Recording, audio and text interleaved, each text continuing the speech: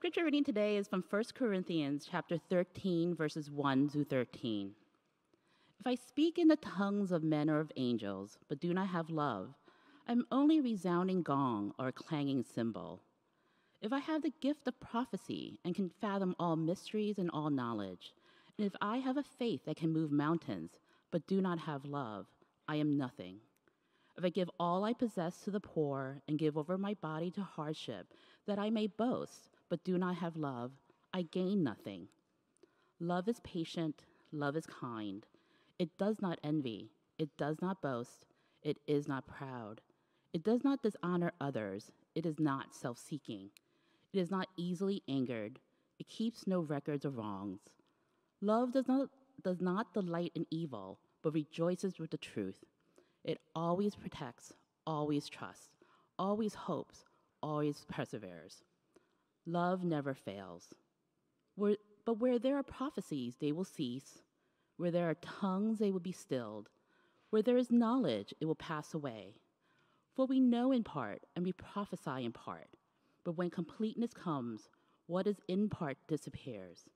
When I was a child, I talked like a child, I thought like a child, I reasoned like a child. When I became a man, I put the ways of childhood behind me. For now we see only reflection as in a mirror. Then we shall see face to face. Now I know in part, but then I shall know fully, even as I am fully known. And now these three remain faith, hope, and love. But the greatest of these is love. Amen. Amen. Thank you, Sophie. And good morning and welcome again to Redeemer Lincoln Square. We've been looking at various cultural narratives this fall, and we've been doing this because unknowingly we've absorbed these narratives as true, as they're just part of the fabric of our culture. And they've now functioned as our culture's belief system. And so, what we've been trying to do is we've been trying to compare and contrast the various cultural narratives with the biblical narrative to see which one makes sense of our experience the best, which one explains reality the best. And so, what we've done over the past couple weeks is we've looked at narratives like identity, uh, sex, intimacy, happiness, freedom, justice, and power. And we've been doing this, and what we've seen is that these narratives are proposed to us in culture as ways for us to be fulfilled, ways for us to uh, be sustained, uh, to have uh, meaning and purpose. And yet, week after week, we've shown you how they have not. And we've addressed the how, but you know what we haven't done yet? We haven't addressed the overarching why. Why they do not work. And so, what I want to do today is, in the most misunderstood uh, biblical passage, potentially, in the Bible and also the climax of Paul's letter to the Corinthians in, in this first letter, he tells us the why.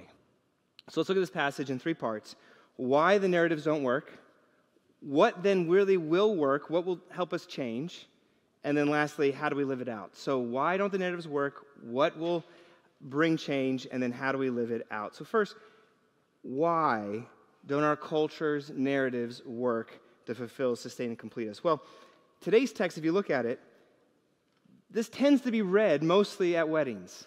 This tends to be one of the most uh, under, well, it's one of the most well known and famous passages by Paul. And yet, Paul isn't saying love is patient, love is kind abstractly. He's talking, this is happening 13 chapters into a long letter where 12 chapters have just gone by where Paul has addressed people who are incredibly gifted, incredibly talented, and yet they're still a mess. And so in this text, he, he's, he's talked for 12 chapters about what's been wrong. So he, here he now goes through what he, they do do well. So he starts giving them the gifts that they have said that they have, that, that are evident in their community. So, number one, look at verse one. He says, If you speak in tongues of men, if you have faith that uh, can move mountains, right? There, there's a spiritual, supernatural gift there. Verse 2 if you can fathom all mysteries, if you can prophesy, if you can have all knowledge, knowledge is intellect, right? There's intellectual gifting here. Go to verse 3. If I give all that I possess to the poor, there's a sacrificial gifting here. So if you zoom out, you have spiritual, supernatural, intellectual, sacrificial gifting all happening in a thriving, growing community. You know, th- this is what the dream team's about. This is what, you know, churches all want to have this. And so Paul should be like, hey, this is great, right? No, he doesn't. See, the first word in our passage, notice it says if. If you have these things, and if these are evident in your life, and they were in the, the group of, of the Corinthians here, and yet for 12 chapters, Paul's detailed how they've been spiteful and cold and mean and harsh and vindictive and rude and filled with pride. He's saying if you have all these things, if that's still evident, then it's still nothing. That there's still not, you're still at the end of the day rude and mean and petty. It's, you're a resounding gong. You're nothing. Likewise, our culture, what do we do? We spend so much time and effort desiring freedom, going after happiness, trying to get an identity. We, we put a lot of time and effort into these things, and we have to ask ourselves at the end of the day is our culture, are you individually, are we, are we less vindictive? Are, we less prideful? Are we, are we more prone to kindness and love and care and all these things? Uh, is that, do we see that? And what we've tried to do over the weeks, we try to look and, and say, is that what's happening in our culture? And the studies show, and, and your uh, own experiences show that that's not happening. That we're more fragmented, we're more inhumane, we're, we're less accepting, we're less warm. We're just like the Corinthians, we're, more, we're, we're still vindictive and petty and rude and prideful. Some of you might say, well, at least we, we now have more, you know, people can get their own identity. We can choose your own identity, right? But again, the, the, what we see is that people today are less secure in their identity than ever before. Well, people are at least happier, right? They're happier. Well, we showed weeks ago the studies, as we ask, every year we're actually getting less happy. And so, what we're finding here is actually the Corinthians, they misidentified gifts and abilities to sustain themselves for their purpose and identity.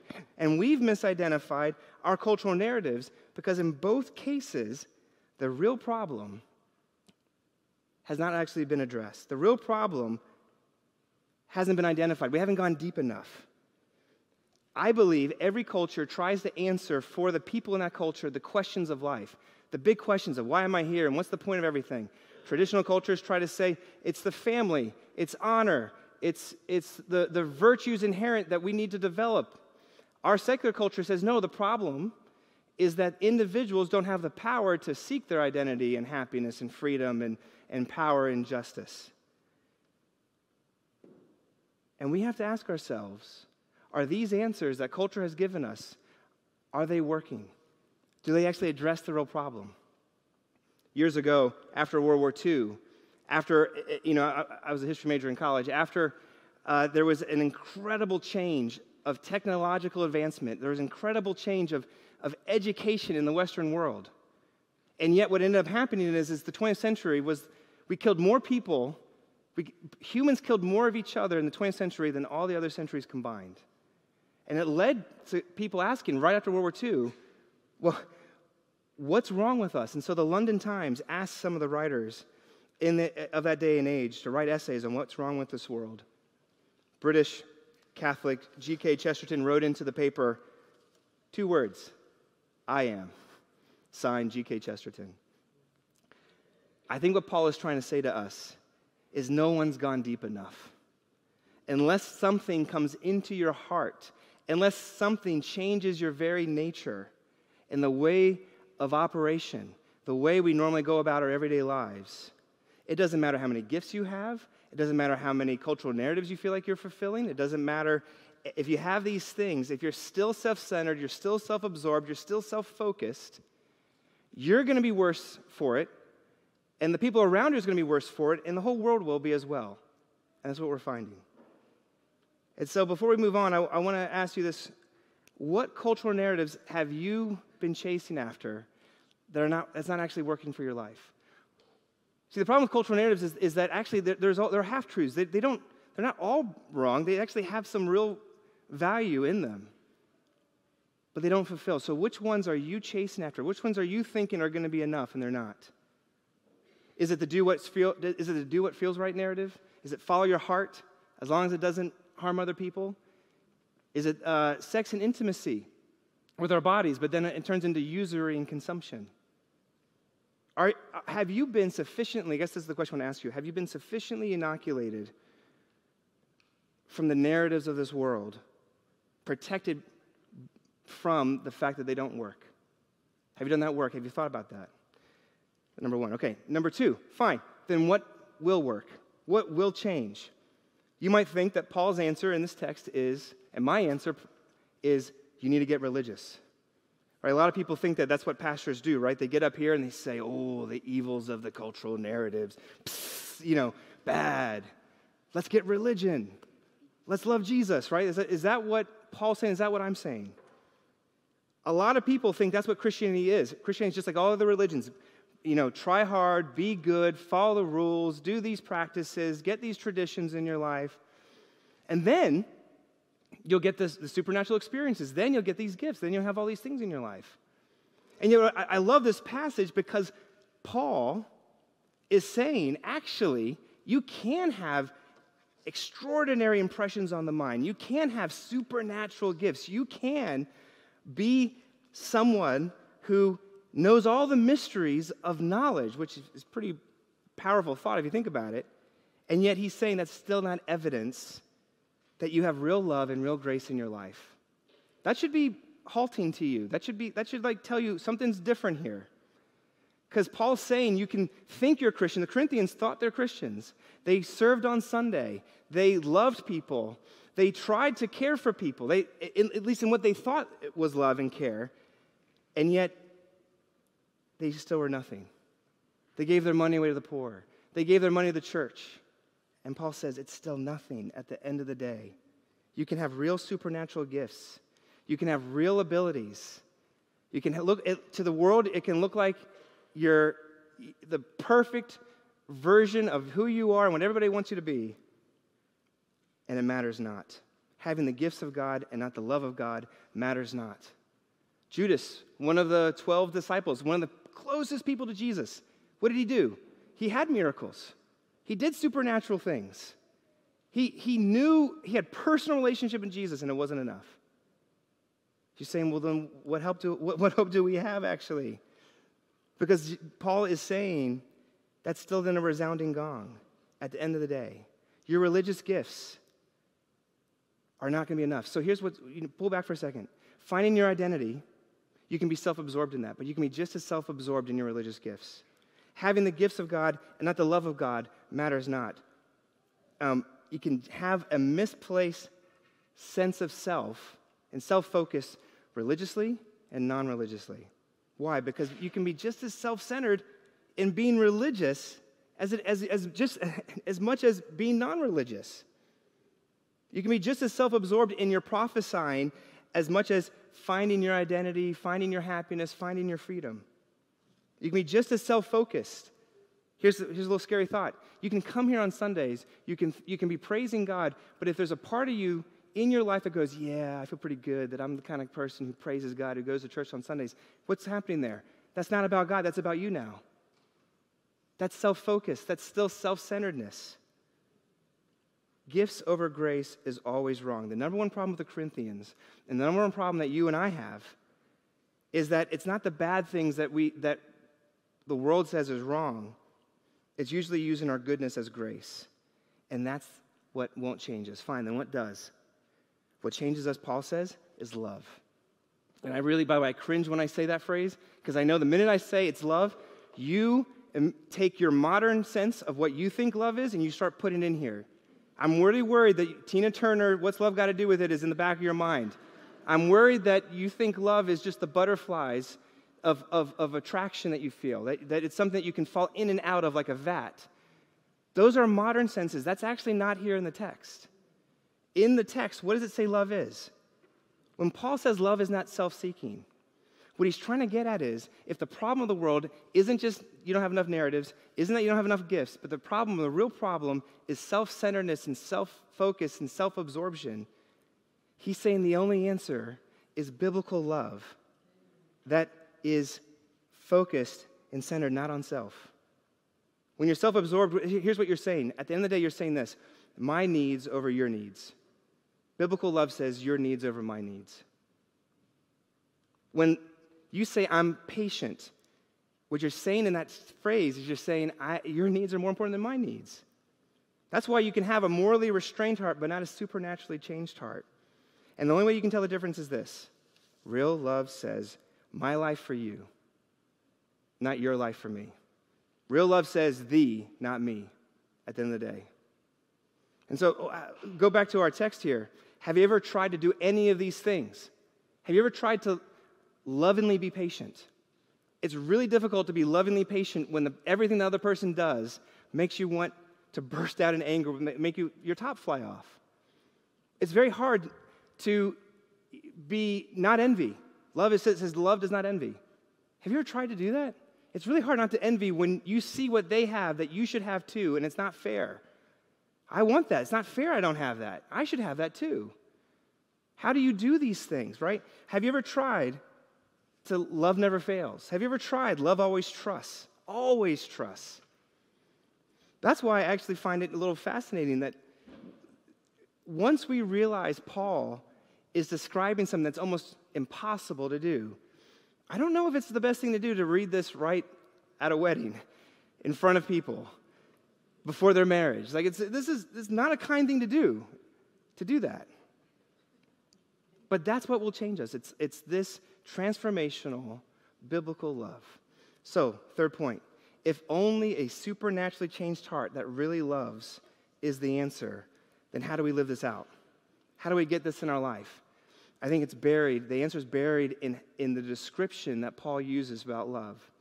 Because notice when he's detailing the traits of love, he doesn't say this. He doesn't say that love is made up of kindness. He doesn't say love contains hope.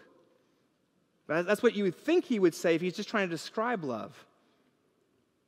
Instead, what does he do? He says love is. And by doing that, by saying love is, he's personifying love.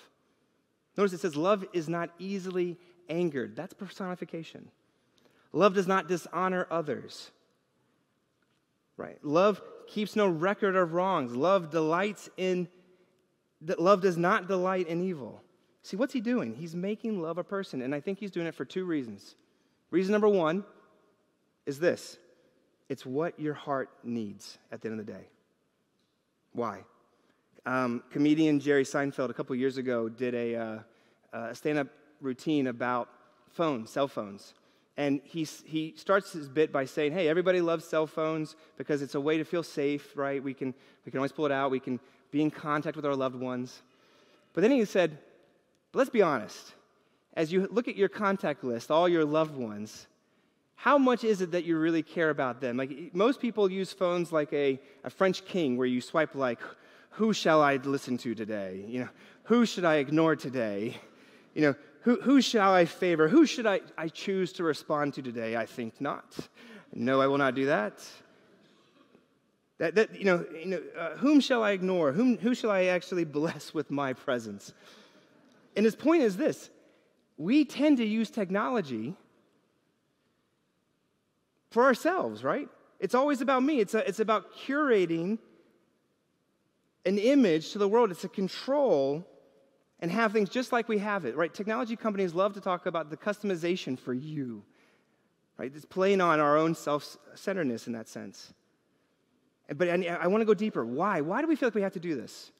Right? No judgment here. Why are we self focused? I think at the end of the day, if I'm honest with myself, it's I say to my, it's because if I don't focus on myself, who will?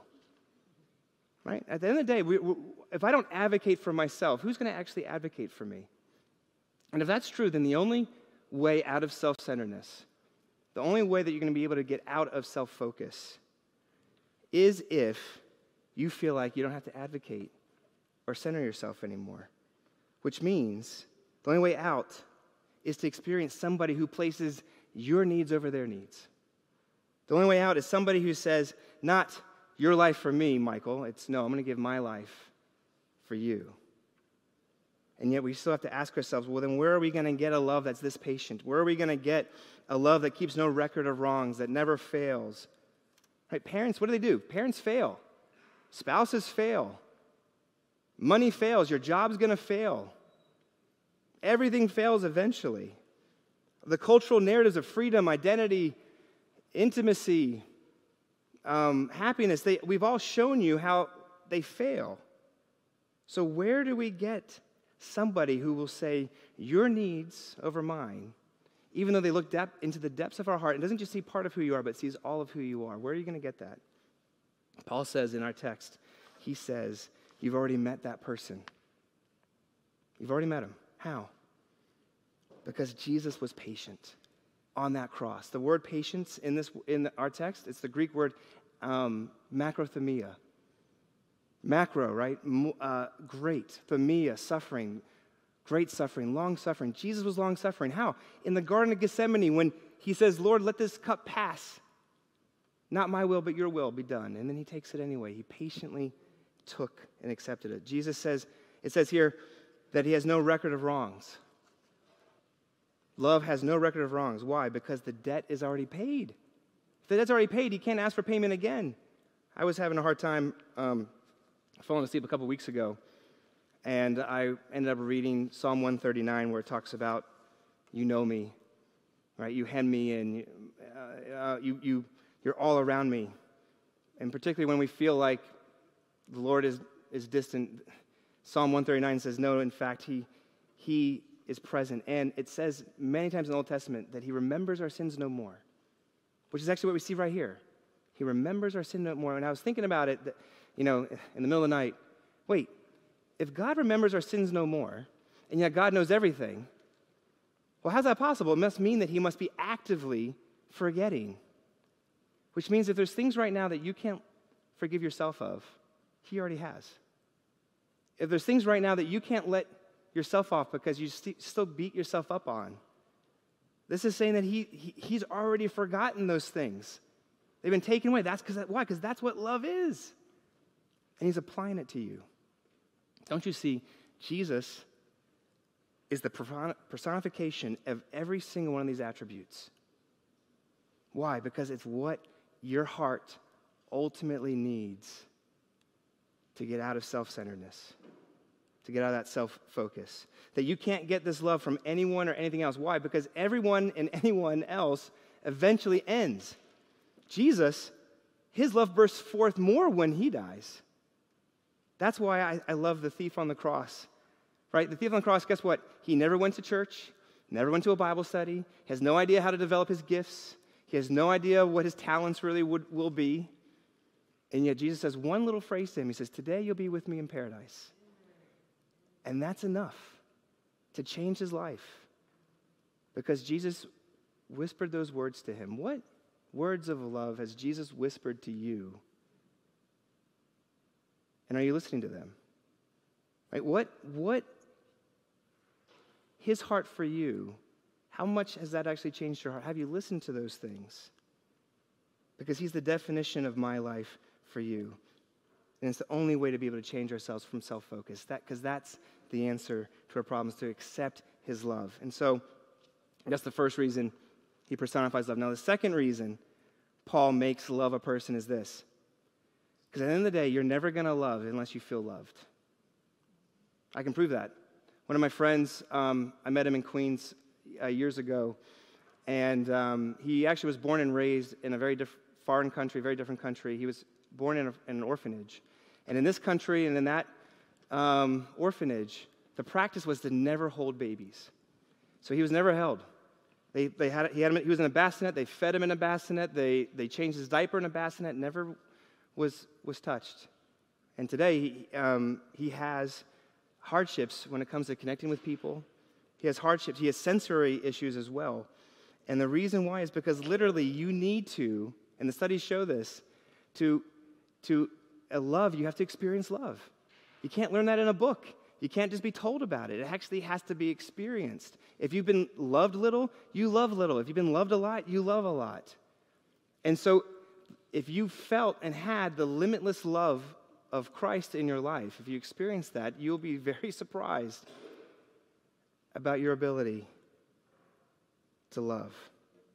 So, how do you know if you've actually had this experience in your life? Well, I'll tell you what, what it isn't.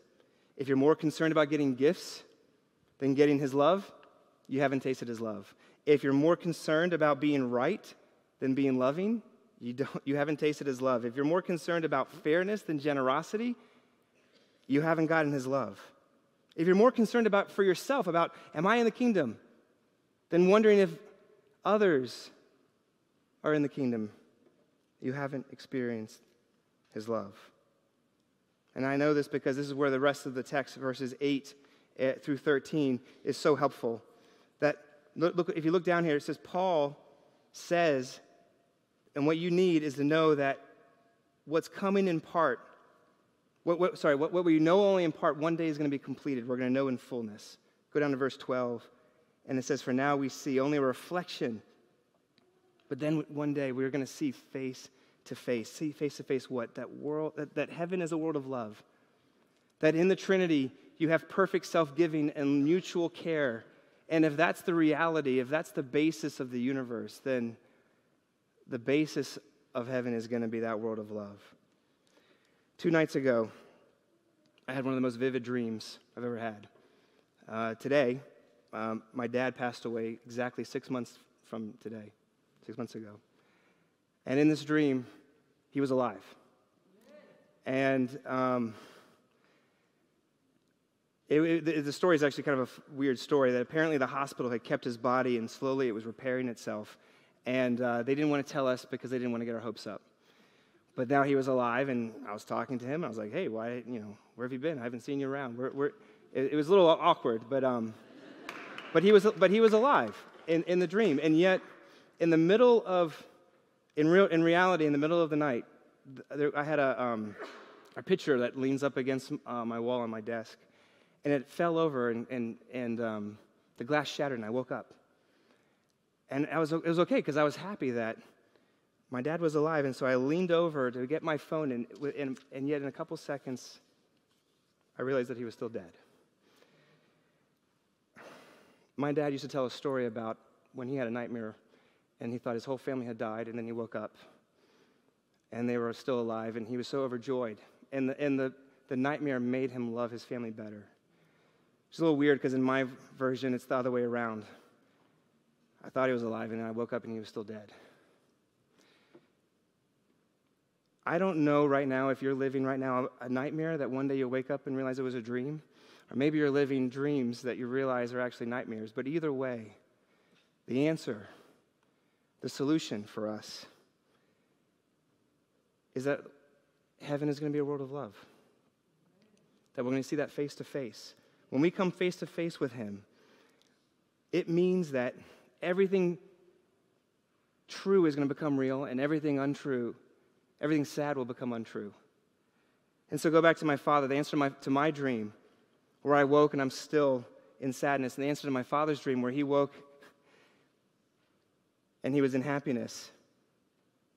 It's this that the world of love is to come. That you're going to be able to handle the suffering and the sadness because every bad thing will be just like a nightmare that you're going to wake up one day and everything real, everything true will become real, and everything sad will become untrue. That's because we know that heaven is a world of love and it's coming, and yet at the same time, we can look at the past and we can see the cross and we can see the resurrection and we can say that's already been secured for us. So today, we can live out love in the here and now. And so to end, here's how I want to end. If you want to be a mom who's able to wake up 15 times in the middle of the night because a child has a nightmare and you don't want to respond in anger. If you want to be a manager who is able to take a pay cut so others can stay employed. If you want to be that roommate, if you want to be that friend and mother or father or son or daughter, and still be able to love biblically, which means to seek a, a, restorative presence for those around us. Let me try to end with just a couple practical considerations. Let me give you three quick ones. Number one is don't let your heart go after the things that aren't going to satisfy. Those cultural narratives, there's some validity in them, but they're not enough to sustain you. I don't care how good the goodnesses are in the world, they're not going to be good enough. They pale in comparison to His love for you. Seek His love. Don't seek the loves of the world.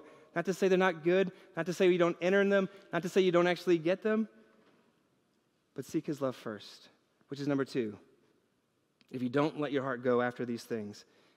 Instead, seek And here's what you'll find you'll find his love most and sometimes in the darkest, strangest places of your life. It'll be at the bottom of the sea of hurt, and he's there. It'll be uh, where you feel most lost. It'll be when you feel most sad. It'll be, it'll be, you will see it in his love, even when you used to have a love that's gone that you wish was back. When you wish that he was still here.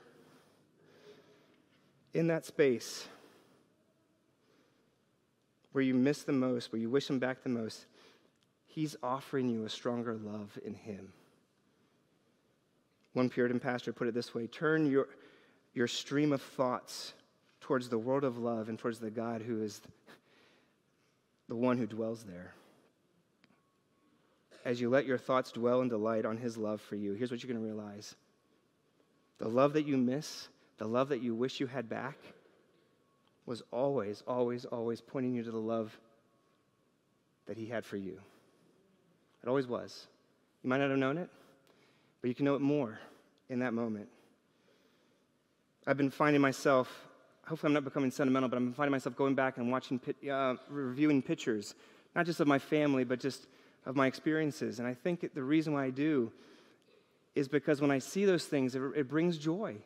As I seek and remember, it brings joy. And I want you folks, I want you to be able to do the same thing. Go back into the spaces where the Lord has met you. If you're like, I, I can't think of those things, go to place, look at your current life and maybe just meeting you right there. Seek and remember his love for you. And last point, to love, to impact those closest around us, ultimately, you're going to do that by being curious. I just found this out. Did you know that Jesus, in the recorded life that we had of him, did you know that he asked over 300 questions? People asked him 187, and he only answered three.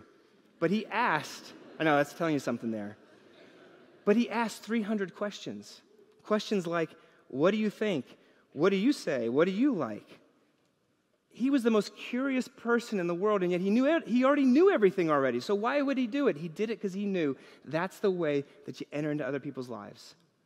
And so it, I believe that my life for you, the definition of love, which Jesus is, it will look like curiosity to the world. You'll be curious of yourself. You'll be curious of other people, and that'll leave you, that'll let you enter into the other individuals. So when we care enough to ask people about them, when we care enough to ask folks, which is why Graham earlier talked about how we're going to have a church wide Christmas party on December 6th. We can ask people to that. We can ask people to lessons and carols in, on December 10th, which is very, you know, singing carols, reading some scripture, it's, it's an easy ask. But who are the people around us that we can? Will we ha- take the time and the effort? It does take time and effort to think about it and have curious lives enough with people to do that. It takes being intentional to have this bringer mentality. That's why we're going to do a Q&R right after the service. It's for everybody, children, adults, and we're going to try to discuss like what does this look like to be like this? If Jesus is just an example to you, he'll crush you, but if Jesus is the bringer of love to your life, that's going to change you. It's going to bring so much love into your life that the biggest thing you're going to want is you're going to want other people to have that love in their life too. And will we have that? Will that happen to us? Bring folks to our Christmas party, bring them to the lesson, bring them to uh, your homes, hospitality. We can do that as we're curious, as we live out this love. Don't seek the things that won't fulfill. Seek Him. Lead these curious lives in love. Let's pray.